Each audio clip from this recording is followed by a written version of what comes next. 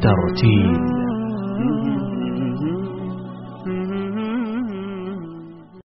بسم الله الرحمن الرحيم পৃথিবীতে একমাত্র ধর্ম দর্শন যা এভাবে ওপেনে মাইক লাগিয়ে আলোক সজ্জা করে দলমত নির্বিশেষে সবার সামনে বুক ফুলিয়ে বলা যায় কথা বলতে হবে ঠিক কি না পৃথিবীতে একমাত্র ধর্ম দর্শন যা ওপেনে একটা একটা খুলে বিশ্ব মানবতার সমস্যার সমাধানগুলো দেওয়া যায় কোরআন দিয়ে। পৃথিবীতে কোনো ধর্ম নাই। কোন ধর্মীয় গ্রন্থ এভাবে নাই যা মানবতার সকল সেক্টরের সমাধান দিতে পারে। এই জন্য কোরআন মাজিদ জীবনের সকল ক্ষেত্রে বাস্তবায়নের কথা বলে আর আমরাই তার স্লোগান দিই। কিছু লোকেরা না বুঝে মুসলিম ধর্মটাকে অন্যান্য ধর্মের সাথে তালগুল পাকিয়ে ফেলে। তারা মনে করে হিন্দু যেমন একটা ধর্ম, বৌদ্ধ যেমন একটা ধর্ম, খ্রিস্টান ধর্ম যেমন একটা ধর্ম, ইসলাম ধর্ম ঠিক ওই রকম একটা ধর্ম। এরকম মনে করে, কিন্তু কথাটা কি ঠিক?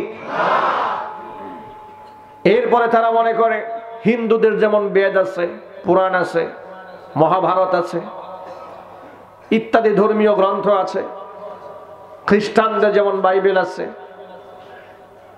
বৌদ্ধদের যেমন ত্রিপিটক আছে, ইত্যাদি ইত্যাদি ধর্মগ্রন্থের মতো কোরআন শরীফটাকেও তারা মনে করেন। কিন্তু আপনারা বলুন, কোরআন মাজিদ কি অন্যান্য ধর্মগ্রন্থের মতো একটা বই? পৃথিবীর অন্যান্য ধর্মগ্রন্থের মধ্যে বিশ্ব মানবতার কল্যাণে বিশ্ব শান্তির কোনো ফর্মুলা ব্যাপকভাবে দেওয়া নাই। ব্যাপকভাবে তো দূরের কথা। শাখা প্রশাখার শান্তির কোনো বর্ণনা বিশ্বের কোনো কিতাবে নাই। যেমন উদাহরণ দিয়ে বলি, কোরআন হচ্ছে আইনের কিতাব, কোরআন আমালের কিতাব। কোরআন পড়লে সব হয়। কোরআন যদি কেউ তিলাবাত করে, অন্তর আলোকিত হয়, কোরআন দিয়ে যদি কেউ আমল করে, সমাজ আলোকিত হয়ে যায়। কোরআন দিয়ে যদি বিচার ফয়সালা কার্যকর করা হয়, ইনসাফ ভিত্তিক বিচার ফয়সালা কায়েম হয়ে যায়।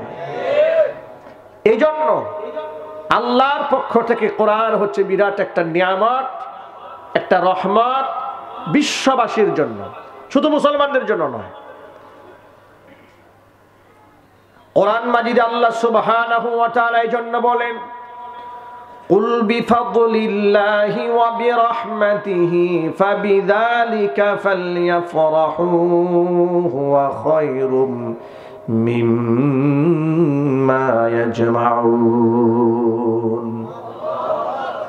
অনবী আপনি বলেন, মানুষ যেন আমার ফাদলুন নিয়ে, আমার করুণা নিয়ে, আমার দয়া নিয়ে যেন মানুষটা খুশি হয়ে যায়।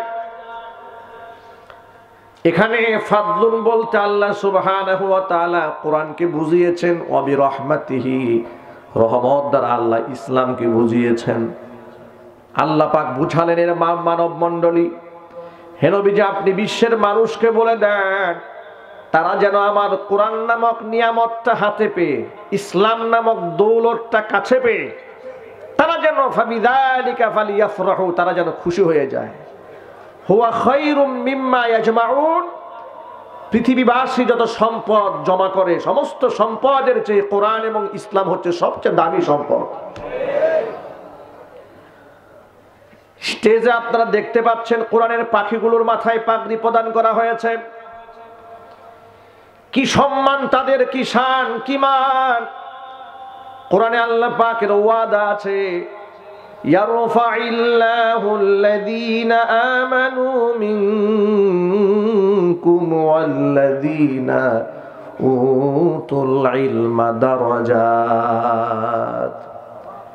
ইমানদার বান্দা যারা তাদেরকে এবং যাদেরকে কোরআন হাদিসের জ্ঞান দান করা হবে, যারা আলেম হবে, তাদের সম্মান, তাদের মর্যাদা বৃদ্ধি করে দেব আমি আল্লাহ। কে সম্মান বাড়াবেন? কে সম্মান বাড়াবেন?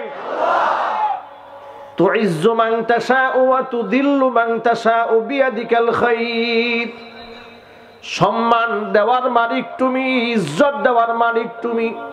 আবার সম্মান ছিনায় নেওয়ার মালিক তুমি। ভাইরা আমার এই জন্য আল্লাহ পাক যদি কাউকে সম্মান দান করেন, গোটা পৃথিবীবাসী মিলেও তাকে অসম্মানিত করতে পারে না। আর আল্লাহ পাক যদি কাকে লাঞ্ছিত করতে চান, অপমানিত করতে চান, তাহলে ক্ষমতা দিয়ে, টাকা দিয়ে, প্রশাসন দিয়ে সেই ব্যক্তি মান সম্মান টিকিয়ে রাখতে পারে না। জর্জ ডাব্লিউ বুশের ইতিহাস আপনাদের ভুলে যাওয়ার কথা নয়। ক্ষমতায় থাকা অবস্থায় জুতার বাড়ি খেয়েছে। তার প্রশাসন, তার ক্ষমতা, তার ফোর্স তাকে রক্ষা করতে পারেনি। চিল্লে বলুন, ঠিক কিনা? বর্তমান সমাজেও কিছু লোকেরা আলেমদেরকে অসম্মান করতে চেয়েছে। খেলা হবে বলে তামাশা করেছে। আলেমরা নীরব ভূমিকা পালন করেছেন, সবর করেছেন, ধৈর্য ধারণ করেছেন। কিন্তু আসমান থেকে খেলোয়াড়ের ফয়সালা হয়েছে। ঠিক কিনা? তার বিরুদ্ধে জুতার মিছিল হয়েছে। এজন্য আপনাদের মনে রাখা উচিত, আমি কার সমালোচনা করছি, কার সম্মান নিয়ে আমি টানা হেসরা করছি। কোরআনের পক্ষে যারা থাকবে, তাদের ইজ্জত আপনি একা কেন? বিশ্ববাসী মিলেও তার সম্মানকে এক চুল পরিমাণ কমাতে পারবে না। যেহেতু সম্মানের মালিক কে? লপাক ইজ্জতের মালিক, সম্মানের মালিক। যাকে বেইজ্জত করার জন্য প্রচেষ্টা চালানো হয়েছে, তার সম্মান আল্লাহ পাক আকাশ চুম্বি করে দিয়েছেন। যিনি বেইজ্জত করতে চেয়েছেন আল্লাহ পাক তাকে জুতার মালা পরিয়ে দিয়েছে। এখান থেকে শিক্ষা গ্রহণ করতে হবে। মোটা মাথায় চিন্তা করলে হবে না, সমাজ থেকে ইব্রত হাসিল করতে হবে। জ্ঞানীরা প্রত্যেকটা কদমে কদমে শিক্ষা গ্রহণ করে। যদি বলুন, ঠিক কিনা? যে সমস্ত আলেম ওলামারা ইসলামের পক্ষে ছিলেন, আছেন, যারা কোরআনকে পক্ষে ধারণ করে জীবনের ঝুঁকি নিয়েছে, তাদের হেরে যাওয়ার কোনো ভয় নাই, তাদের চিন্তিত হওয়ার কোনো কারণ নাই। ফর্মুলা তো আল্লাহর দেওয়া। আল্লাহর ওয়াদা আছে কোরআনে, ফামান তাবিআ হুদায়া ফালা খাউফুন আলাইহিম ওয়ালা হুম ইয়াহজানুন। আমার ফর্মুলা যে মানবে, আমার দেওয়ার দিক নির্দেশনা অনুযায়ী যে চলবে ফালা খাউফুন আলাইহিম, দুনিয়াতে তাদের কোনো ভয় নাই। ওয়ালা হুম ইয়াহজানুনা ফিল আখিরা, আখিরাতেও তাদেরকে ব্যথিত হওয়ার কোনো কারণ নাই। তাদের সকল দুশ্চিন্তা মুক্ত করে আমি জান্নাতের মেহমান বানিয়ে দেব। যারা সন্তানদেরকে হাফেজ কোরআন বানিয়েছেন, তারা ঠকে যাননি। আপনি নিশ্চিন্তে বিছানায় ঘুমাতে পারবেন। চরম ফেতনা ফাসাদের জামানায় আপনার সন্তানটা ইয়াবাকুর হবে না গাজাখুর হবে না, নেশাগ্রস্ত হবে না। আজকে রাজধানীর বুকে তাকিয়ে দেখুন, বাংলাদেশের শহর উপশহরগুলোর দিকে তাকিয়ে দেখুন, ধনির দুলাল যারা, ধনির দুলালি যারা, রাজকন্যা যারা, তারা অধিকাংশ আজকে বিপদগামী হয়ে যাচ্ছে ড্রাগসে আসক্ত হয়ে যাচ্ছে। ইয়াবা খাচ্ছে, সীসা পান করছে। নাইট ক্লাবে যাচ্ছে, চরিত্র ধ্বংস করে দিচ্ছে, জীবন ধ্বংস করে দিচ্ছে, সমাজ ধ্বংসের পায় তারা চালাচ্ছে। কিন্তু মজার ব্যাপার হলো, গোটা বাংলাদেশের চিত্র মাদ্রাসার দিকে তাকায় দেখেন, লক্ষ লক্ষ ছাত্র মাদ্রাসায় আছে, একজন ছাত্রকে ইয়াবা খুর পাওয়া যায় না। একজন ছাত্রকে গাঁজাখুর পাওয়া যায় না। একজন ছাত্রকে সন্ত্রাস পাওয়া যায় না, চান্দাবাজ পাওয়া যায় না, টেন্ডারবাজ পাওয়া যায় না। দাড়ি টুপিওয়ালা রাস্তায় কোনো মানুষ দেখলে মানুষ ভক্তি এবং শ্রদ্ধায় মাথা নত করে দেয়। নিরাপদ আশ্রয় মনে করে। রাতের আধারে রাত দুটা বাজে, তিনটা বাজে। হঠাৎ করে রাস্তায় দাড়ি টুপি ছাড়া একজন লোক দেখলে মানুষের কলিজা আটকে ওঠে, ভয় পেয়ে যায়। নাকি চোর কিনা, ডাকাত কিনা, ছিনতাইকারী কিনা, গুন্ডা কিনা, মাস্তান কিনা। কথা বলেন ঠিক কিনা? জামা কি শেষ করে দেয় নাকি?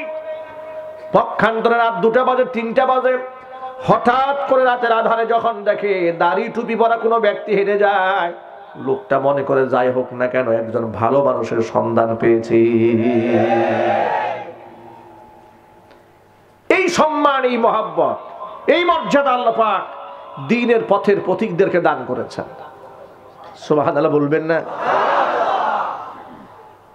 আমি এই জন্য সব সময় বলি, সামাজিক যত অবক্ষয় আছে যদি রোধ করতে হয়, সমাজের যত প্রকার অন্যায় রয়েছে যদি অন্যায়কে মূল থেকে শেষ করে দিতে হয়, তাহলে বুদ্ধিজীবীদের ফর্মুলা দিয়ে কাজ হবে না, কোরআনই ফর্মুলা গ্রহণ করতে হবে। সমাজের মধ্যে ধর্ষণ একটা সামাজিক ব্যাধি, মাদক একটা সামাজিক ব্যাধি সন্ত্রাস কর্মকাণ্ড একটা সামাজিক ব্যাধি। সন্ত্রাস নাই দেশে? আরও জোরে বলতে হবে, নাই। কিন্তু আশ্চর্যের ব্যাপার, মিডিয়ার চোখটাকে সন্ত্রাসী হিসেবে দাড়ি এবং টুপিওয়ালাদের দিকে তাক করে রাখে।